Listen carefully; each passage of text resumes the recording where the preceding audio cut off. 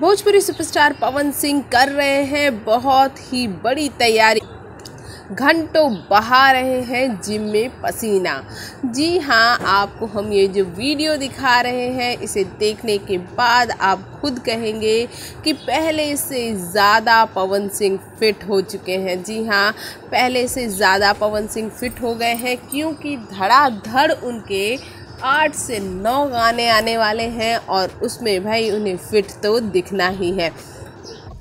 वैसे भी फिटनेस की बात करें तो पवन सिंह अपने आप को फिट रखने के लिए जिम रेगुलर जाया करते हैं।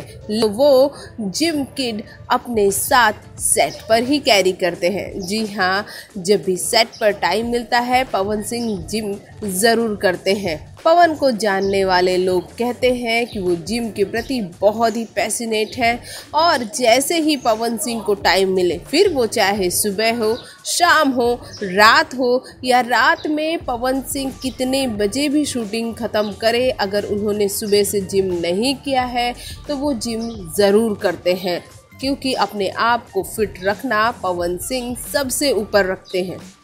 वैसे भी पवन सिंह अपने दो गानों में जमाना कहेला पवन सिंह और मुझे घंटा फ़र्क नहीं पड़ता। इन दोनों गानों में पवन सिंह को अपनी बॉडी को फ्लॉन्ट करना है। अब ऐसे में जब पवन सिंह अपनी बॉडी दिखाएँगे, फ्लॉन्ट करेंगे तो आप समझ सकते हैं बॉडी फिट रहना भी बहुत ज़रूरी है। साथ ही सुनने में आ रहा है कि पवन सिंह का हिंदी सॉन्ग, जी हाँ हिंदी सॉन्ग बहुत ही जल्द रिलीज़ होने वाला है। उस पर भी काम चालू है। उसका ऑडियो रिलीज़ बहुत ही जल्द होगा जस्ट म्यूज़िक पर।